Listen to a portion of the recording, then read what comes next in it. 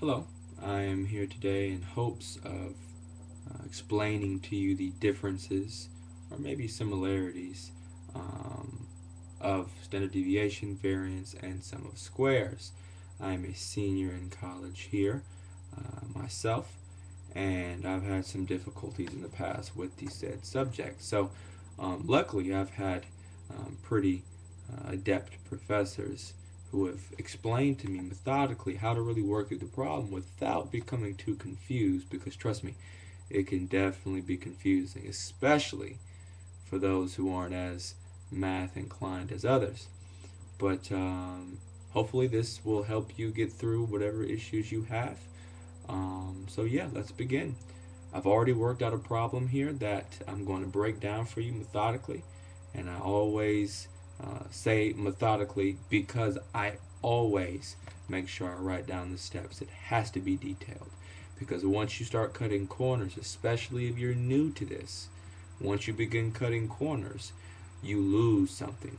In a lot of cases, you may miscalculate, you may uh, add wrong, you, whatever you may do, uh, you may do by cutting corners.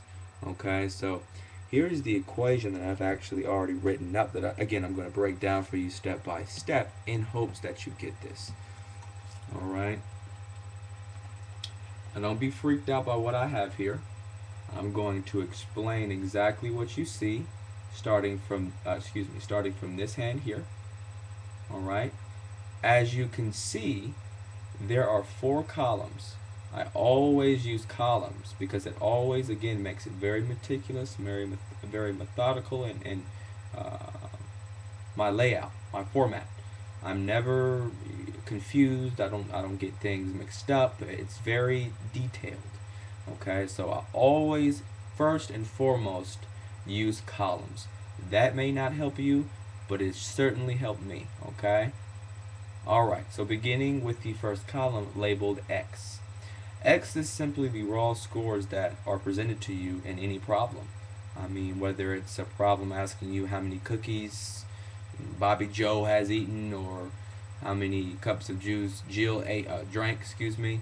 Doesn't matter what the problem's asking you. It's really just the numbers that you need to really be concerned about in most cases. Okay? So as you can see, the raw scores are 3, 1, 7, 0, 6, 3, 2, and 6. Okay? Now what you do first and foremost, again, aside from making columns, is uh, find the mean. Uh, and that's simple enough. We've learned that in grade school, but if you need a refresher course, you just take all these scores here in the X column, add them up. I got 28, all right? Then you'll take N, as you can see here where the arrow is, you'll take N, which is just the number of scores there. There are eight numbers there okay?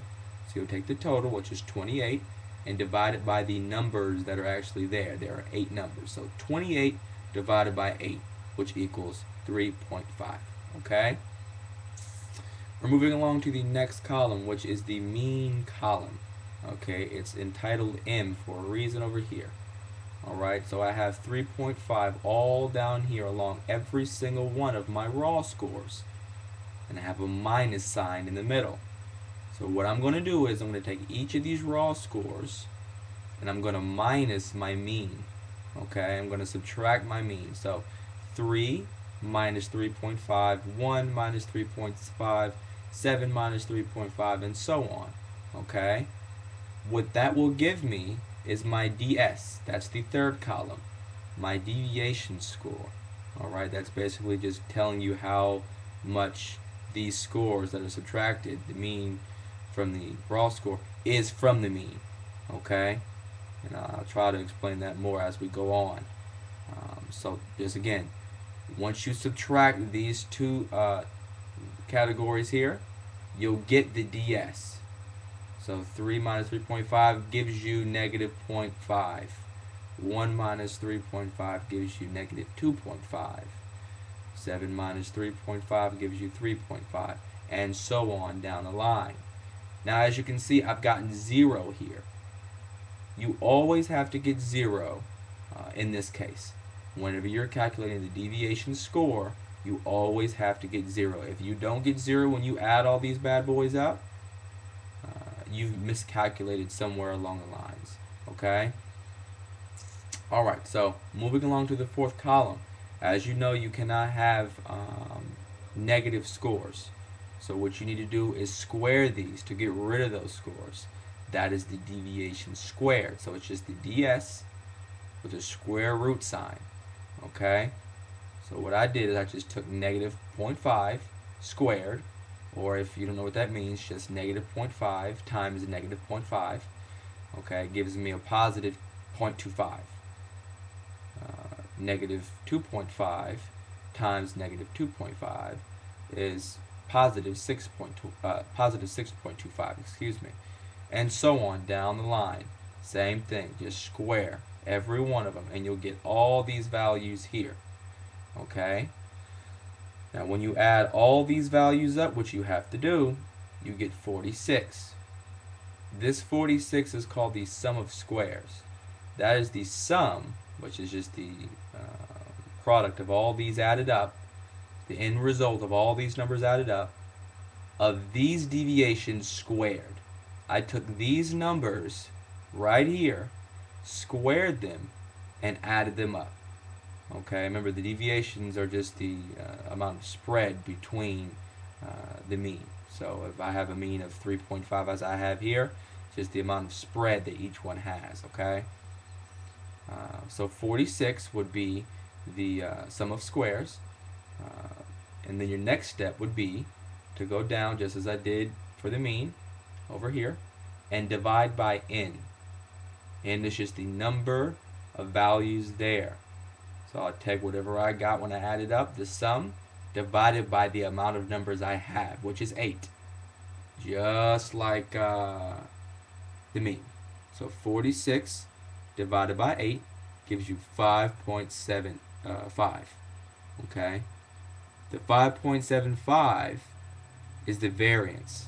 Okay? That is actually, as I said earlier, actually the um, one number that is the spread away from the mean, okay?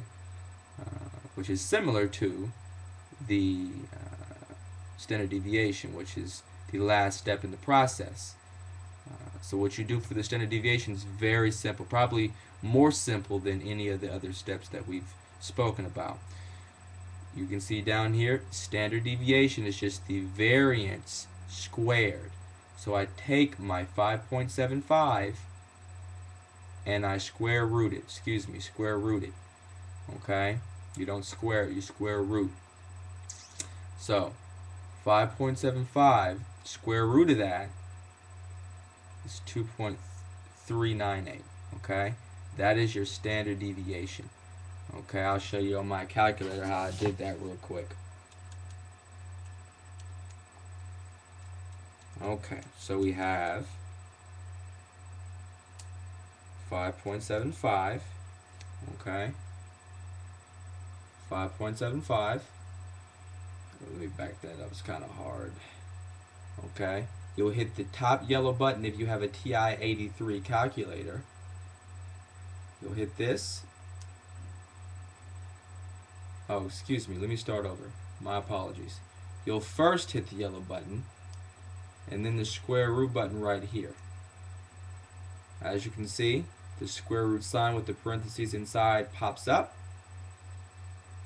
Okay? Then you'll type in 5.75.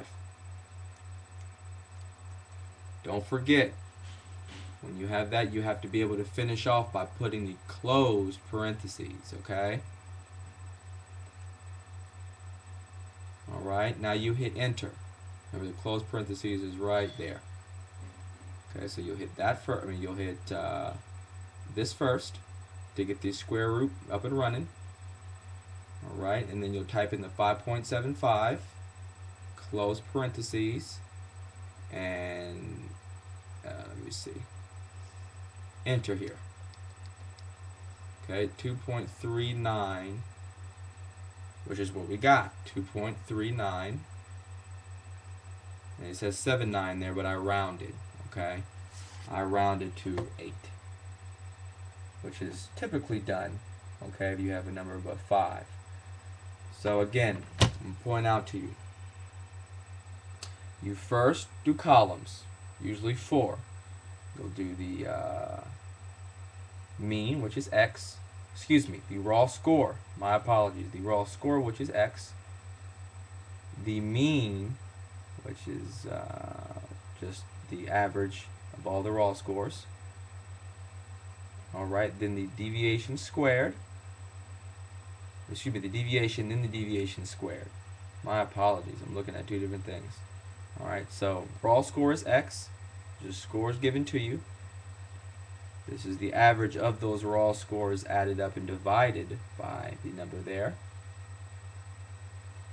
You'll get the deviation score right here, which is just subtracting the raw score from the mean each time. Square that, and you'll get the deviation squared, okay, which is 46. Remember, 46 is going to be the what? It's going to be the sum of squares. Sum of the deviations squared. Alright? Uh, to get the variation, you'll just take the amount of numbers there, which is 1, 2, 3, 4, 5, 6, 7, 8, and divide by the total that you got when you add them up. So 46 is what I got when I added them up, and I divide by 8, which is the uh, total amount of numbers there. So 46 divided by 8 is 5.75, which is the variance. And to get the standard deviation, you just uh, square root that to get 2.398. Okay? Uh, I hope that wasn't uh, confusing. Uh, I tried to make it as detail oriented and as clear and lucid as possible. Um, and definitely good luck. Good luck.